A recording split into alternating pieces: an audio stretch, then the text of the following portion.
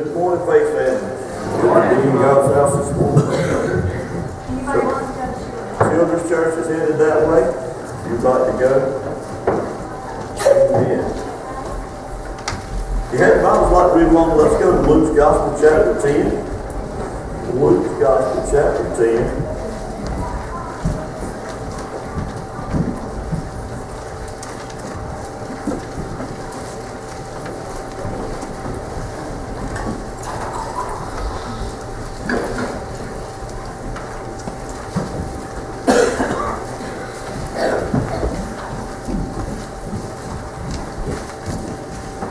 While everybody's finding their place, certainly great to be in God's house this morning. Appreciate His Holy Spirit. We've already felt in the service. Just ask that He continue to manifest in a mighty way. And we might be able to leave here changed. We might be able to leave here closer to Him than we were when we came in. Leave some burdens and some trials and some heartaches at this altar this morning. And just leave it in His presence. Allow us to be able to walk in the newness of life that He intended for us to walk in. Everybody there, amen? Amen. amen. We're going to begin reading in uh, Luke's Gospel, chapter 10, verse 38. It said, That came to pass as they went, and he entered into a certain village, and a certain woman named Martha received him into her house. And she had a sister called Mary, which also sat at Jesus' feet and heard his word. But Martha was cumbered about much serving, and came to him and said, Lord, dost thou not care that my sister hath left me to serve alone? Bid her therefore that she help me. And Jesus answered and said unto her, Martha, Martha, thou art careful and troubled about many things, but one thing is needful, and Mary hath chosen that good part, which shall not be taken away from her. Let us pray.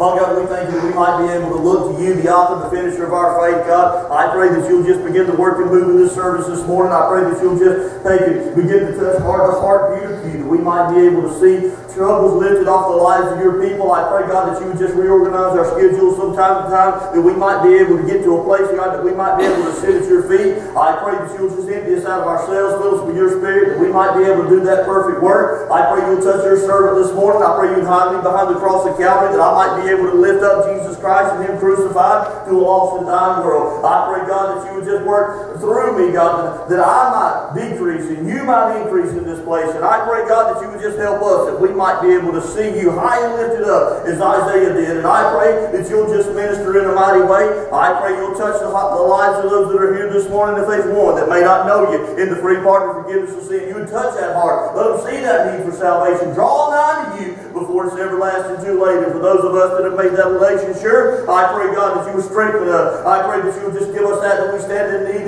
of every day. Encourage us in your word, in your spirit. And I pray, God, that you would just leave us to a place, lead us to a place that we might be able to just trust you more. Lord, we love you so much. We thank you. We praise you. We ask all these favors and blessings in Christ's true and holy name we do pray. And all God's people said, Amen. You know, as I began to think a few weeks ago, I, I to think about how busy it was going to get. Brother Keith giving the announcements up here this morning. And you just all the things that are going on. And you begin to think about church, how busy we are in church, and that's a good thing. But not only in church, we get busy in the world. We get busy doing things that are on our jobs. We get busy doing things with our family. And this time of season, or this time of the seasons, as we get into Thanksgiving and Christmas, it just begins to compound these things. And here we are, we get to a place that sometimes we're just overwhelmed. And I think as we begin to, we're approaching a, a season, we're approaching a, a, time, the busiest weeks of the year, the kind of between Thanksgiving or right before Thanksgiving and New Year's. And, and I don't know if anyone's told you, but Keith talked about it just a little bit, but I don't think he give you any days, but there's 37 days, shopping days until Christmas, if nobody's told you that. You need to know that. There's 37 days. So we begin to think about that. I, think about so many times this time of year we really get busy and, and we're not even got a Thanksgiving yet. We've not even bought a turkey. I've not bought a turkey. I don't know if anybody bought a turkey or not, but we've not even bought a, a turkey. And here we are thinking about Christmas and we're trying to get through this and, and then we're trying to get through Thanksgiving and we're trying to, to get through Christmas and we get through the, the holiday and we get through Thanksgiving, get everything done, we get the turkey cooked, then it's time to, well, our Christmas tree usually goes up before Thanksgiving, but then there's that time of getting all of this stuff together. Getting all this Christmas decoration, getting it all out of the, the storage facility or the storage building, wherever it may be. We get all this, and all these lights, and all of them in one big ball, and all of them that don't work. And I don't understand why they don't work. All they did is just sit in a dark place just 12 months ago. I don't understand why they don't work when you get them out and you string them out. And half of them don't work when you go buy more Christmas lights. It's just so busy. And then you begin to think about that. After Thanksgiving, what do we have? Black Friday. Black Friday comes along, and then we, we got Black Friday shopping, and everybody's hustling and bustling, and then you got to try to figure out what to buy for the hard ones on your list, the people that just got everything, right? And then you try to, you figure it out, and you go, you're at their house, you say, oh, they need one of these, or you hear them say something, yeah, I would really like to have one of these. Next time you go to their house, you, you come up with this great idea that you're going to get them for Christmas, and lo and behold, they've got one. They went and bought one. So as you begin to think about all of this stuff, and then you go back and exchange gifts, and, and all of this, and then Christmas dinner, trying to fix the right thing, trying to accommodate everybody, because everybody don't like the same thing. So as we see all of this, we begin to think about how stressful it is and how hard it is. And, and you can begin to think, imagine this story. If we're just having a complicated time having our family in our home, can we imagine what it was like for Martha and Mary to have Jesus in their home.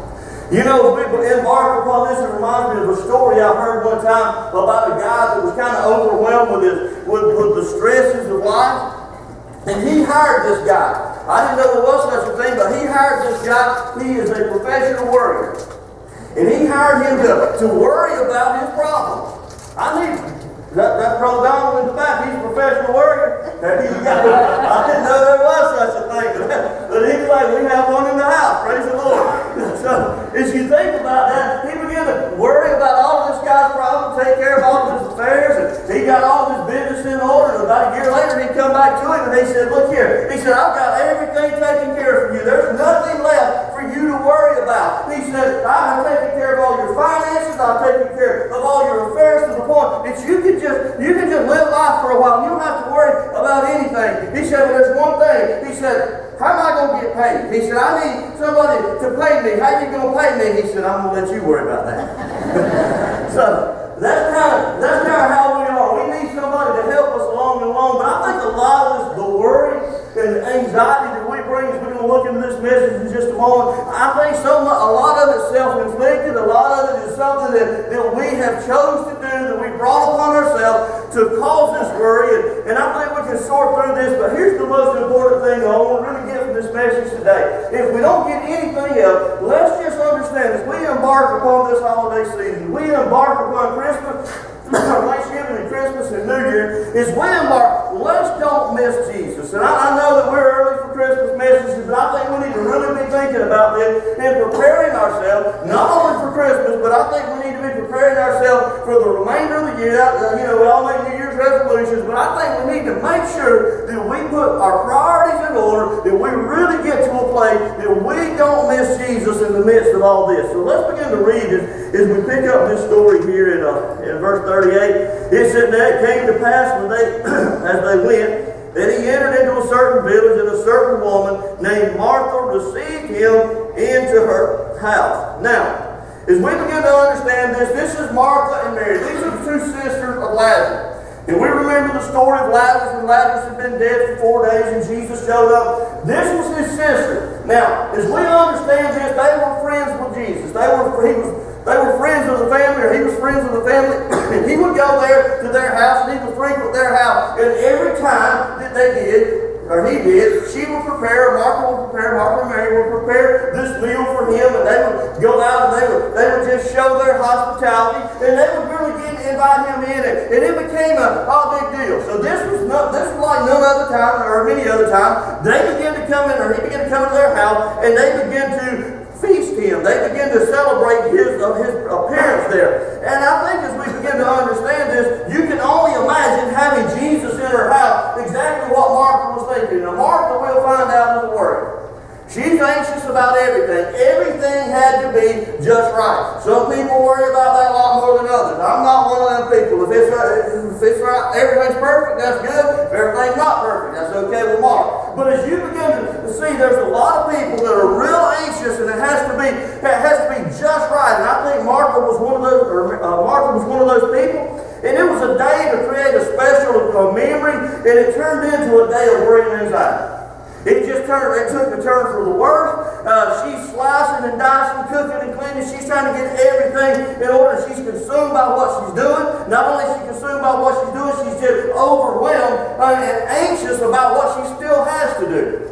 So here she is. She's not only, she's just kind of got the cumbersome load of everything upon her, but now her mind just can't rest because it's, it's, she's worried about what's going to happen, worried about what's going to be left out, worried about what she's not going to get done.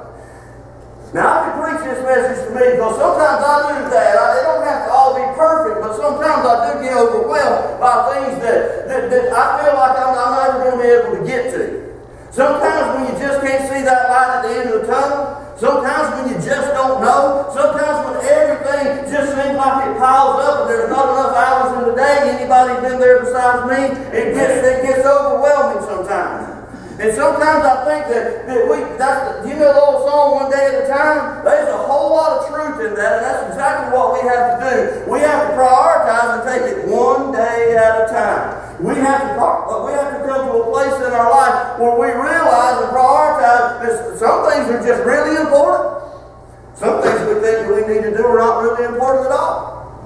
And as we begin to see this, we begin to see that, that she is consumed and here comes her array of emotions as we begin to read in verse 40 or 39. And she had a sister called Mary, which also sat at the feet of Jesus and heard his word. But Martha was cumbered about much serving and came to him, and she said, Lord, dost thou not care that my sister had left me to serve alone? Bid her, therefore, that she help me. Now you see this array of emotions. Ah, here she is. She's slicing, dicing, getting everything ready. She's looked around, and all of a sudden, her sister's gone. All of a sudden, she, she's missing her. Maybe she needed to ask her for something. Maybe she needed her to help her do this or whatever. She looks around, and Mary is gone. And then she kind of peeks through the living room, peeks into the living room, and there's Mary sitting at the feet of Jesus. Here she is. She's resting and reclined while Martha's left to cook and clean and take care of all the, the work and prepare the meal. And as we begin to look at this, this array of emotions just begin to, to pour out. She feels alone, she feels abandoned, and eventually all of that desperation turns to what? Anger. She's mad. We find that as we get into verse 41. We read that again, but it says this. It says, or verse 40, I'm sorry. But Martha was cumbered about much serving and came to him and said, Lord, Dost thou not care that my sister hath left me to serve alone? Can you almost hear the anger in her voice? now you think about this for just a moment. Here she is. She's realized that she's alone. She realized that Mary's left her. And she kind of peeks into that living room, and there she is. Along with Jesus and his disciples and guests and people that's in there. And all of a sudden she steps to the door. And I can just see her feeling. And she, she looks at Jesus and she says, Jesus, do you not care that my sister has left me alone in here to cook and clean and toil and work? Do, do, do you not care? And all of a sudden here I can just see everybody in the room looking at each other, waiting to see what's going to happen next, and probably they're looking at each other whispering, awkward. This is fixing to get awkward. And as we see this, we begin to see that she's angry, she's upset, she's to the point that it's a question, but it's almost an accusation. It's almost an accusation to the point that you not care? Bid her, tell her to get up and get in here and help me in this kitchen. And I think as we begin to, to see this, we begin to see her, her words are, are very relevant from the abundance of the heart. The Bible says the mouth speaks. That's where we're at. That's where she's at. Her heart has come to a place that she's angry, she's bitter, she's upset. And, and if we're not careful, if we're not really careful, sometimes this will happen to us. We feel if we're the only one doing anything. We feel sometimes that we're unappreciated. We feel like that, that you, you know, we're not getting recognition for what we do. And I think this is where she was at. I think she was to the point that she had loaded her schedule trying to, to make it all about her and what she could do and how she could help Jesus and how she could serve Jesus and what she could do in that capacity. But I think it had overwhelmed her to the point that she felt like that, that no one was helping her, but it was her choice to do this. We'll talk about that in just a little bit. But I think as you begin to, to look at this, we begin to see what happens in, when this happens to us. In order to understand that, let's go to, you don't have to turn there, I'm going to read it to you, but 1 Kings chapter 19, I want to read something really quick there as we think about this. If we think about, could it happen to a Christian? Could it happen to a man or a woman of God? Most certainly. Most certainly because we have an adversary. We have an enemy. We have someone that tries to tear down what God is doing in our life, and this is how he does it sometimes, but we'll get to this in just a moment. But I want to think about Elijah for just a moment. If you remember the story of Elijah on the top of Mount Carmel when he had went up there and the prophets of Baal. Now all of a sudden he had called down fire, and this was a time of revival. This was a time when everybody had stepped up and they've been begin to declare, the Lord He is God, the Lord He is God. And now as we get to understand this, word had got back to the king and queen, Ahab and Jezebel, that uh, what Elijah had done, that he had tore down the grove, and he had he had turned the people back to the true and living God. And all of a sudden they rose him, and all of a sudden here we find him hiding in the cave, we find him at a point in his life that he is he is he feels like that, that he's unappreciated, he feels like that no one cares, he feels like he's the only one, and as we read this in, in uh, verse 19, or chapter 19, verse 1, it said, And Ahab told Jezebel all that Elijah had done and how he had slain all the prophets with the sword. And Jezebel sent a messenger to Elijah and said, Let the gods do to me and more. Also, if I make thy life as thy, the life of them by tomorrow about this time. And when he saw that, he arose and went for his life, and he came to Beersheba with belonged to Judah, and he left his servant there. But he, himself went a day's journey into the wilderness, and came and sat under a juniper tree, and he requested for himself that he might die, and said, It is enough. Now, Lord, take my life away from me, for I am no better than my father. And as he slept under the juniper tree, behold, an angel touched him, and said unto him, Arise and eat. And he looked, and behold, there was a cake of, bear, of cake, bacon on the coals, and a cruse of water in his head. And he did eat and drink, and he laid him down again. And the angel of the Lord came to him a second time, touched him, and said, Arise, eat and drink, for the journey is too great for thee. He arose, he did eat and drink, he went into strength of the meat for forty days and forty nights on the Horeb mountain of God. And he came down into a cave, and he lodged there. And behold, the word of the Lord came to him and said unto him, What doest thou here, Elijah? And he said, I've been very, get this part right here, verse 10. He said, I've been very jealous for the Lord God of hosts. For the children of Israel have forsaken thy covenant, thrown down thine altars, slain thy prophets with the sword, and I, even I only, am left, and they seek to take my life away. Do you see that? Do you notice something particular about that? Notice one thing how many times he uses the word I in there. It's all about him. He's looking at a place in his life where he feels like he's the only one. He feels like he is the, the one that's done it all. He feels like he is the, the person that's been neglected. And here he is, he's to a point, he said, I'm ready to just throw in the towel. I'm ready to give up the fight. I'm ready to just quit. He said, take my life away from me. I'm no better than anybody else. Do you see his discouragement? then you see his despair? And so many times that's how it works in our life if we're not careful. We'll get so caught up in what we're doing till we miss what God's doing. And God told him, get up, I got a lot of work for you to do. But so many times we get hindered. And who hinders us? It's not God, it's not us, it's the enemy himself tries to hinder us in our work. Now understand this. God just did a great work through Elijah on the top of the mountain. And God's got a greater work that he wants to do through him. And Satan realized that, and all of a sudden he came and he put that seed of doubt. He came and he put that seed of discouragement and despair. And, and, and, and he, he felt like he was abandoned there in the cave that nobody cared. And God came to him and encouraged him. And to sent an angel to bring uh, a cake of bread and, and water to his side. And as we understand this, we begin to see that if it happened to Elijah, no doubt it can happen to us. But you know, as you begin to think about how he did this, notice what he did in Elijah's life, notice what he did in, in Martha's life, or Martha's life. Is we, we begin to see that it can happen to us. He didn't take Martha out of the kitchen. He didn't take her out and say, Martha, you just go sit down, it's going to be all right. This is how Satan works. He, he didn't just try to convince her to quit. But he took away her purpose in the kitchen. And her purpose was to honor God, or to honor Him with, with a meal, but it was to honor Jesus. Now think about this for just a moment. Let's understand how He worked. He began to take away her purpose. What's the reason that she was doing this? He turned that against her. And it said, instead of oh, that He won't turn you against the church, He'll turn, your, he'll turn you towards yourself in the church and what we're doing in the church. And this is kind of how He works. And it gets to the point it's all about me, it's all about my feelings, it's all about how I feel, and all of a sudden, when we begin to feel that way, the trap snaps shut. And then we begin to understand that, oh my, we're, we're in a position of woe is me. And I think as begin to understand this, we begin to see what he's doing. He won't take you from your ministry.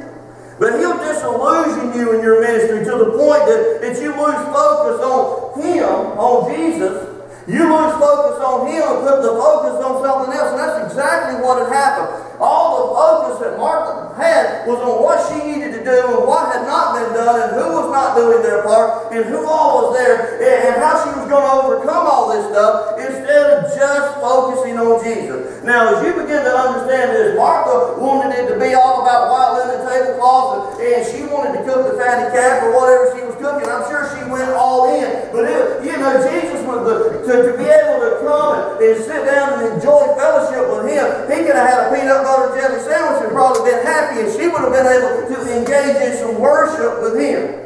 You see what she's all about now. She's got to the point that she has overwhelmed herself. She's chosen to do this, and now she's got she's got bottled up to the point that she can't get out of it. And now her sister has went and done the one thing we'll talk about in just a moment. But she become more concerned about the lack of what she had more than the pleasing God, her time pleasing God. So if we're not careful, Satan will do that. He'll, he'll convince us. And I want you to notice to, to the point what he said or she said here in verse 40. As we look at that, it said, But Martha was comforted about much serving and came to him. And notice what she said. She said, Lord, dost thou not care?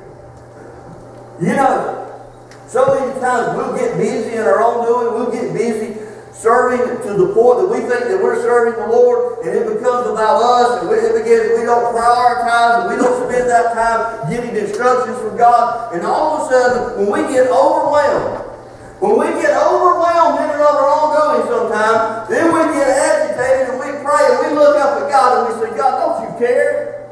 Don't you care?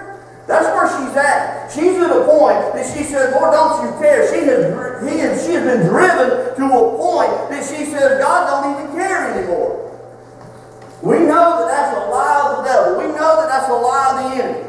We know that he does care. He loves us so much. We know that he is a friend that sticks closer than a brother. But we begin to feel that in our heart that God don't even care anymore.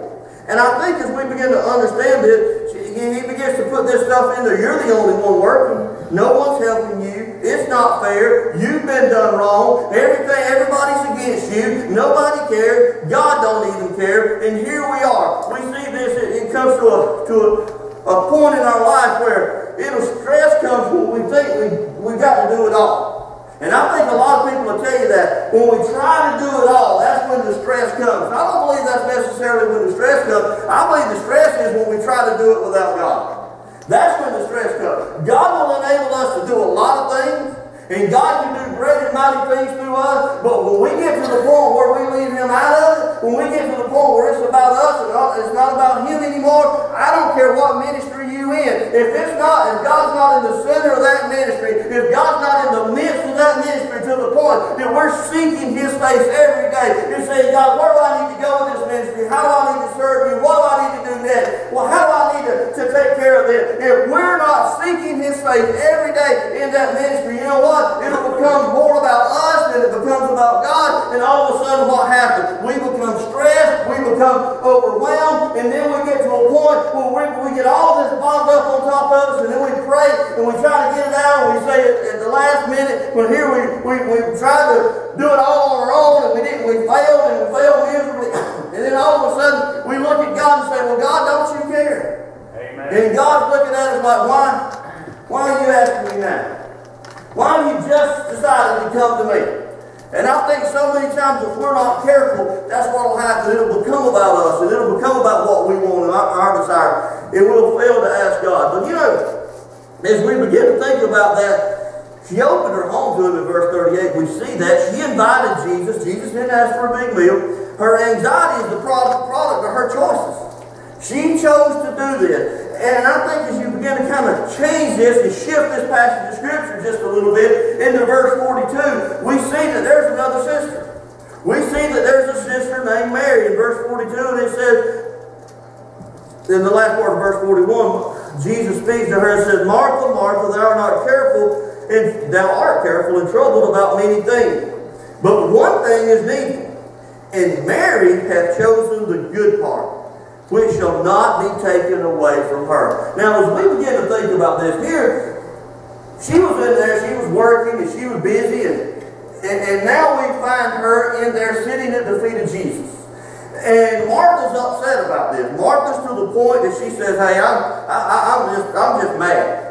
And, you know, we begin to think about one thing. That one thing that Jesus said, he said, well, what is that one thing? One thing's mentioned several times in the Bible. It's mentioned throughout Scripture. I'll, I screenshot one. I'll go to my phone where I can read them to you really quick so you don't have to turn there. But as we begin to think about one thing and what that's all about, we begin to think about some of the Scripture that Jesus has left us with. Uh, Psalm 27, it talks about one thing. One thing I desire of the Lord that He will that I will see, that I may dwell in His house of the Lord all the days of my life to behold the beauty of the Lord and inquire in his temple. You know, as we begin to think about one thing, this is the prophet writing, or the psalmist writing. As he's writing, he said, One thing I desire. I desire to be in the presence of God. I desire to be in the will of God. I desire to be in His purpose, what His purpose is for my life. And you, talk, go back to Luke's Gospel chapter 18, the rich young ruler, when Jesus met with him, when Jesus heard the things that he said, Jesus said, you still lack one thing. Amen. Sell everything you got and come and follow me. And if we remember that story, we remember that that rich young ruler had great possessions and as we begin to understand, he went away sorrowful because he would not get rid of the one thing that was holding him from following Jesus, that was keeping him from following Jesus. We remember that story and you say, well, we, we can't have possessions, we can't have things. Yes, we can have possessions and things as long as we don't put them ahead of Jesus. And that's what he was doing. Jesus looked into his heart and he knew that those possessions were keeping him from being what God wanted him to be. And he said, this one thing this one thing's holding you back. I think about that again. I think about, as we talk about the Apostle Paul. And he said this, he said, Brethren, this is in Philippians chapter 3, verses 13 to 14. Brethren, I do not count myself to have apprehended, but one thing I do, I forget those things which are behind me. And I reach ahead to those which are ahead of me. Now, if we begin to understand this, we begin to see these one things that they're talking about. What are they doing? What are, what are they doing? They're making a lasting implication in the kingdom. They're making a lasting mark in the kingdom of God. And as we begin to understand this, so how do we know if we're doing the right things? How do we know if we're serving right in the ministry? And I think we got to ask the question, how do we understand that? Is it lasting? Is what we are doing, is it making a lasting mark in the kingdom? Because so many times we do a lot of things whether it's in ministry or whether it's just in day-to-day routine, we do a lot of things that don't add anything to the kingdom of God.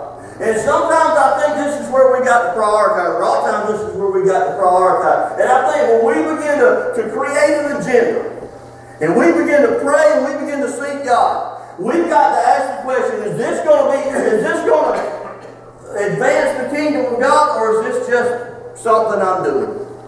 And I think when we begin to answer those questions honestly and earnestly in our heart, I believe we'll find ourselves, we'll find ourselves in the, in the will and the purpose of God, and we'll stay intact in our ministry, we'll stay on, on point in our ministry, we'll stay where God would have us in our ministry. And I think, you know, this all started in the kingdom, uh, or in the kitchen.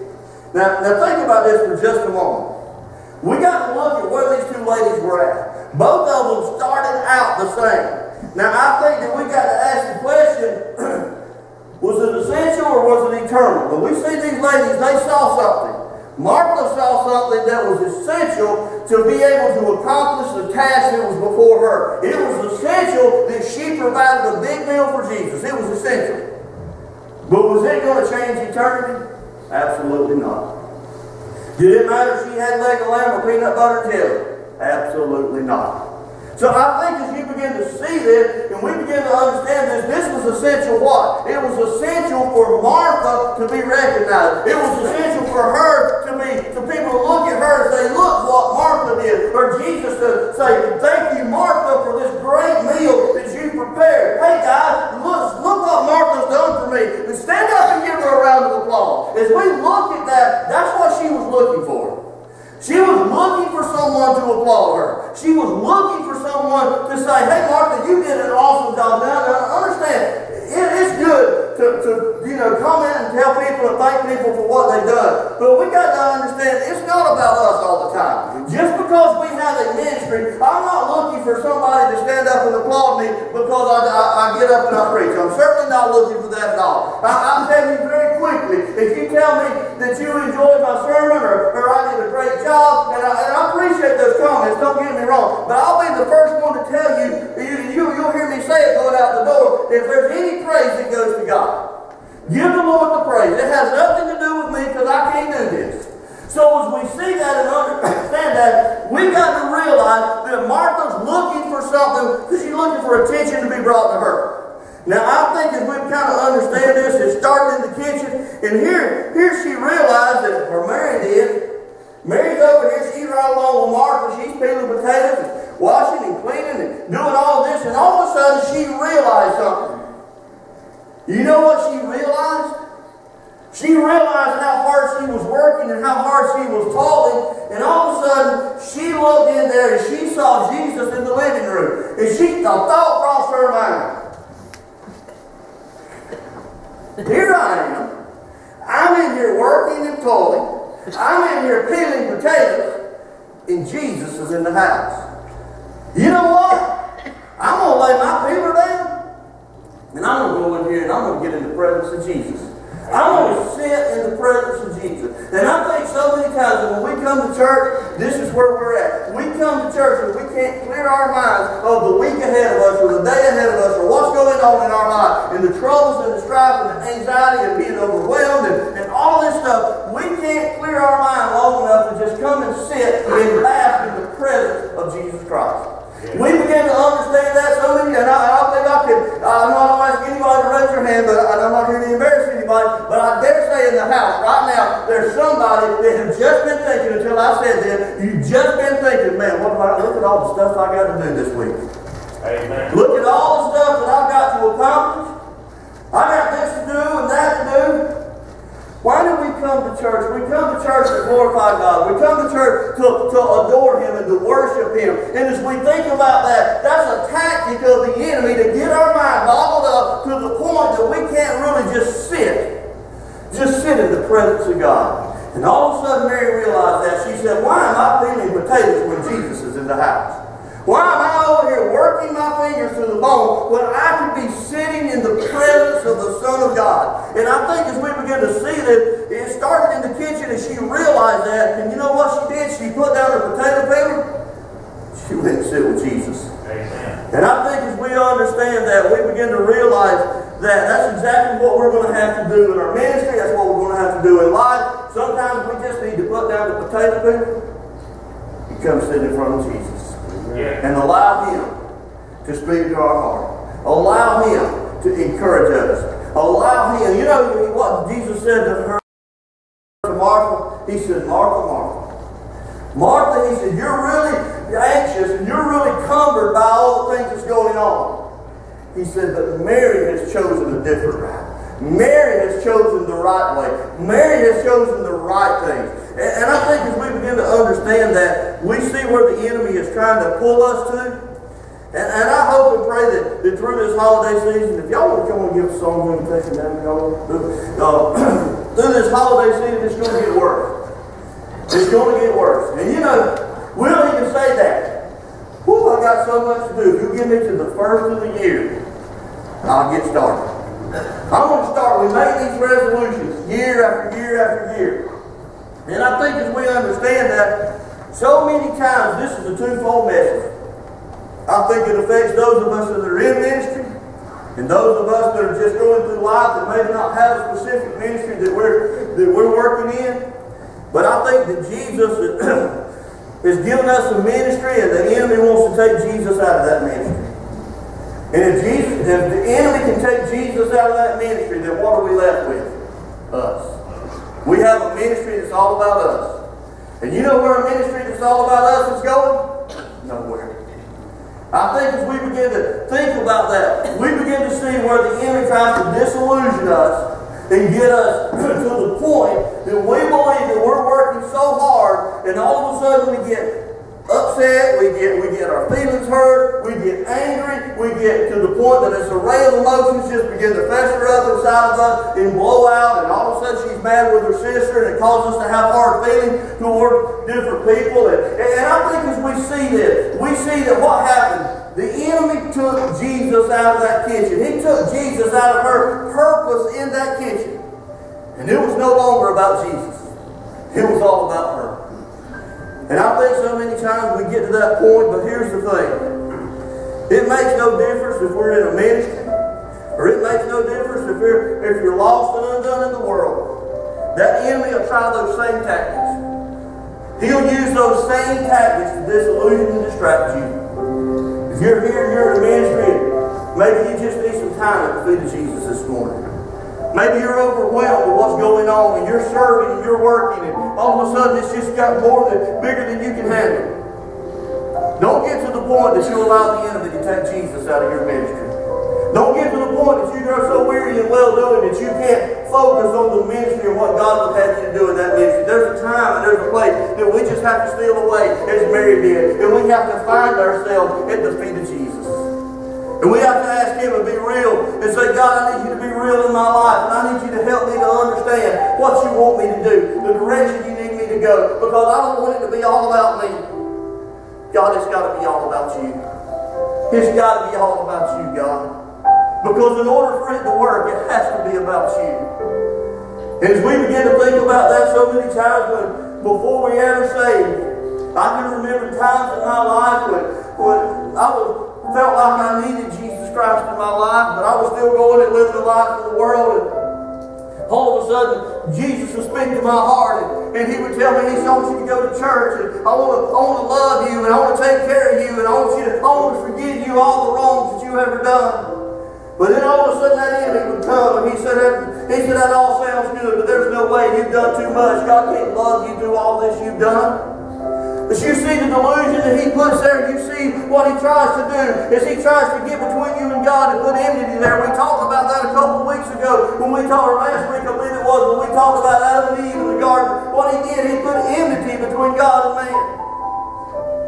And as we're here this morning, if you're struggling with something and you're struggling and maybe you just feel like God wants to love on you this morning and he, He's touched your heart with the Spirit and we will give this invitation in just a moment. And don't you think for a, a moment that Satan won't show up in the middle of that invitation and he'll tell you that surely God don't love you that much. Surely He, he, won't, he can't save you. Surely He can't forgive you for all that you've done. Don't think He won't do that, but you've got to disregard that this morning and come to the place in your life where you realize that greater is He that's in the house this morning than all the people that's in the world and all the demons that, that may come and, and try to tear down what God's building up. I don't know where you're at this morning. I don't know what you're struggling with. I don't know what, what the enemy has placed in your mind, but God loves you this morning. He loves you this morning. And if you're here, whether just sit at his feet this morning. I pray God to give you the courage to do that. I pray He'll just fill your heart this morning with the love, the mercy, and the grace that He so graciously extends to us. And I pray that if you're here and your ministry's just struggling, you feel like you're overwhelmed, you feel like quitting, church, I've been there. I've been there. But here's the good thing about it. It don't matter when we, it don't matter how weary, weary we get. Just a little time, just a little time at His feet will change that. A little time in His presence will encourage us. a little time in His presence will move mountains out of our way. It'll take that, it'll take that anxiety, it'll take that fear, and it'll take that the, the overwhelmness out of our lives, and it'll help us to be able to stay focused and get focused. Because so, so many times we get weary, and we're in the valley and we can't see out. But God will lift us up to the point. I think so many times we're, we're, we're, we're falling down and, and, we're just wallowing in the mud and we say, there's no way out. But all of a sudden, Jesus comes by and lifts us up to the point that we can see above. See above what's going on in our life. And look for that end, that, that, that, that purpose and that plan that He has for our life. I don't know where you're at this morning. If you're here, you need to just come and sit in the, in the presence of Jesus for a little bit. Just come and spend some time with Him. What a wonderful day. Whether you're lost or saved, in ministry, or just a, just come this morning to be able to see Jesus Christ. I pray that God will move in your heart this morning. He will give you that as you stand in need of. Let us pray and believe together. Father God, we thank you for your love and your mercy. We thank you so much for your Son Jesus. That while we were yet sinners, you came and demonstrated on the cross at Calvary how much you loved us by giving his life that we could have life and life more abundantly through the very plan of salvation that you created in him. God, I pray this morning that you just begin to help us through this season, not only through this holiday season, but God, this season of life that we're in. God, that we might be able to just take a little time and sit at your feet. That we may be able to forget about ourselves and come into your house and just praise you this morning. We might be able to leave self at the door. We might be able to just leave all of our, our troubles and trials. And, and God, if we need to come and lay them at the, at the feet of Jesus this morning, then I pray you'll give folks courage and boldness to be able to do that. Give them that desire to come and just look to you and trust in you. And I pray that you'll just minister to them as only you can. And God, if there's one here that don't know you, the free pardon, forgiveness of sin, Lord, I pray that you'll just touch them. I pray that you'll just let them see how much you love them this morning. God, don't let the enemy win this morning. I pray that you'll be victorious in this house today. And I pray that you'll draw them one. If there's one, two, or ten that don't know you, I pray that you'll draw them out of the miry clay and set their feet on the solid rock foundation of Jesus Christ this morning. I pray, God, that you would just have your will and your way, that we might be able to see and know that God is in the house. And all things work together for good for those that love Him and those that are called according to His purpose. God, we give you liberty in this service today to do your perfect work. We love you, we thank you, we praise you. We ask all these favors and blessings in Jesus' precious and holy name we do pray. And all God's people said, Amen.